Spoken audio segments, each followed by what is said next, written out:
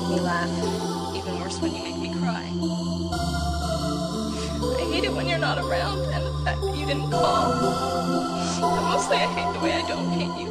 Not even close. Not even a little bit.